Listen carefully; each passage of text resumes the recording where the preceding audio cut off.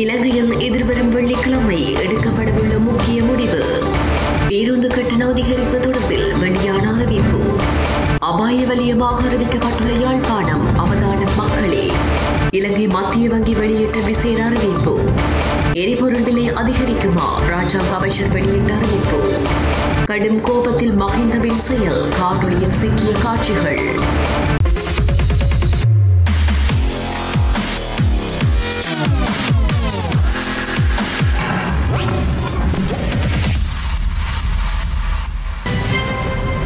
இலங்கையில் கொரோனா தொற்றாளர்களின் எண்ணிக்கை தொடர்ந்து அதிகரித்து வருவதாக தேசிய தொற்று நோய்கள் பிரிவு குறிப்பிட்டுள்ளது.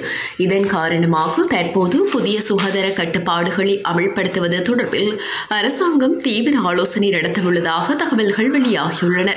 நாட்டில் பொது முடக்கம் ஒன்றை செல்லாமல் சுகாதார கட்டுப்பாடுகளை மீண்டும் கடுமையாக்குவது குறித்து ஆராயப்படவுள்ளதாக தெரிவிக்கப்பட்டுள்ளது. இதற்காக சுகாதார அமைச்சரின் தலைமையில் எதிர்வரும் வெள்ளிக்கிழமை காலை முக்கிய கூட்டம் ஒன்று நடைபெற உள்ளதாக தகவல்கள் வெளியாகியுள்ளன. எதிர்வரும் காலத்தில் பேருந்து கட்டணம் அதிகரிக்கப்பட மாட்டாது என போக்குவரத்து ராஜாங்க அமைச்சர் திலும் அமனுகமோ தெரிவித்துள்ளார். எரிபொருள் விலை அதிகரிக்கப்படாமையினால் பேருந்து கட்டணம் அதிகரிக்கப்படும் என தொடர்ச்சியாக தகவல்கள் வெளியாகிய வண்ணம் உள்ளது. இந்நிலையில் எரிபொருள் விலை அதிகரிக்கப்பட்டாலும் பேருந்து கட்டணம் அதிகரிக்கப்பட மாட்டாது என ராஜாங்க அமைச்சர் தெரிவித்துள்ளார். மேலும் மீண்டும் எரிபொருள் விலை அதிகரித்தால் பேருந்து கட்டணத்தை அதிகரிக்க மாட்டோம் என பேருந்து உரிமையாளர்கள் இணக்கம் தெரிவித்துள்ளதால் இனி பேருந்து கட்டணங்கள் அதிகரிக்கப்பட மாட்டாது என தெரிவித்துள்ளார். எரிபொருள் மற்றும் உதிரி பாகங்களின் விலைக்கேற்ப பேருந்து கட்டணத்தை மாற்றியமைக்கும் விலை சூத்திரம் நடைமுறையில் உள்ளது எனவும் அதன் பிரகாரம் கட்டணத்தை அதிகரிக்காமல் மக்களுக்கு ஓரளவு நிவாரணம் வழங்க நடவடிக்கை எடுக்கப்படும் எனவும் அமைச்சர் தெரிவித்துள்ளார்.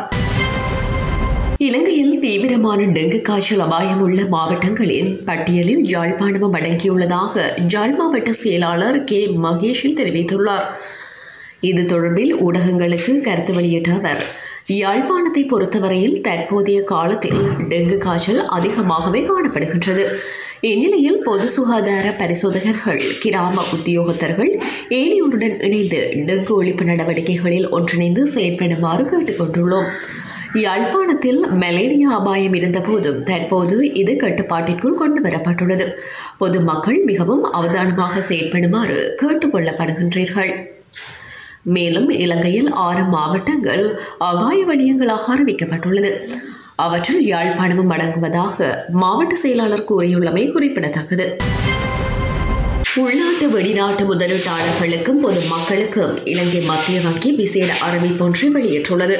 கடன்களை மீளச் செலுத்த முடியாதவாறு முறிவடையக்கூடிய நிலையின் விளிம்பில் இலங்கை இருப்பதாக செய்திகள் வெளியாகிய நிலையில் அச்செய்திகள் உண்மைக்கு புறம்பானது என அறிக்கையொன்றில் இலங்கை மத்திய வங்கி தெரிவித்துள்ளது. இதுகுறித்து இலங்கை மத்திய வங்கி வெளியிட்ட அறிக்கையில் மேலும் தெரிவிக்கப்பட்டுள்ளதாவது இலங்கை கடன்களை மீளச் செலுத்த முடியாதவாறு முறிவடையக்கூடிய நிலையின் விளிம்பில் இருப்பதாக சில ஊடகங்கள் ஊடகங்களில் வெளியாகியுள்ள செய்திகள் தொடர்பில் அவதானம் செலுத்தியுள்ளோம்.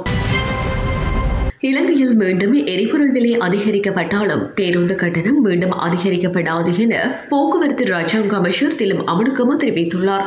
அண்மையில் பேருந்து கட்டணத்தை அதிகரிப்பதற்கு அனுமதி வழங்கப்பட்ட போது மீண்டும் எரிபொருள் விலை அதிகரித்தால் பேருந்து கட்டணம் அதிகரிக்க மாட்டோம் என பேருந்து உரிமையாளர்கள் இணக்கம் தெரிவித்தாலும் அதன் காரணமாக இனி பேருந்து கட்டணங்கள் அதிகரிக்கப்பட மாட்டாது எனவும் போக்குவரத்து ராஜாங்க அமைச்சர் தெரிவித்துள்ளார்.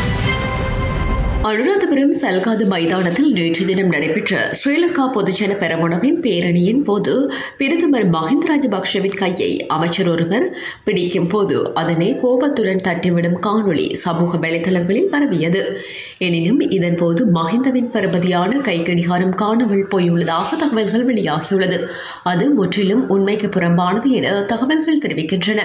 பேரணியின் மேடையில் துறைமுகங்கள் மற்றும் கப்பல் துறை அமைச்சர் ரோஹித அபே குணவர்த்தன பிரதமர் மஹிந்த ராஜபக்ஷவை கையை பிடித்து தூக்க முற்பட்ட போது கோபத்துடன் மஹிந்த ராஜபக்ஷ அவரது கையை தட்டிவிட்டார்.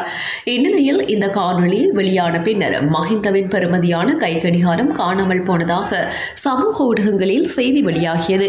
எப்படி இருப்பினும் அந்த செய்தி முற்றிலும் போலியானது என மஹிந்தவுக்கு நெருக்கமான தகவல்கள் வட்டாரங்கள் தெரிவிக்கின்றன.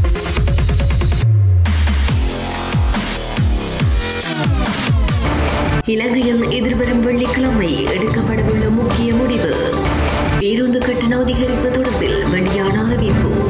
அபாய வலியமாக அறிவிக்கப்பட்டுள்ள யாழ்ப்பாணம் அவதான மக்களே இலங்கை மத்திய வங்கி வெளியிட்ட விசேட அறிவிப்பு. எரிபொருள் விலை அதிகரிக்குமா? ராஜாங்க அமைச்சர் வெளியிட்ட அறிவிப்பு. கடும் கோபத்தில் மகிந்தவின் செயல் காணொலியில் சிக்கிய காட்சிகள்.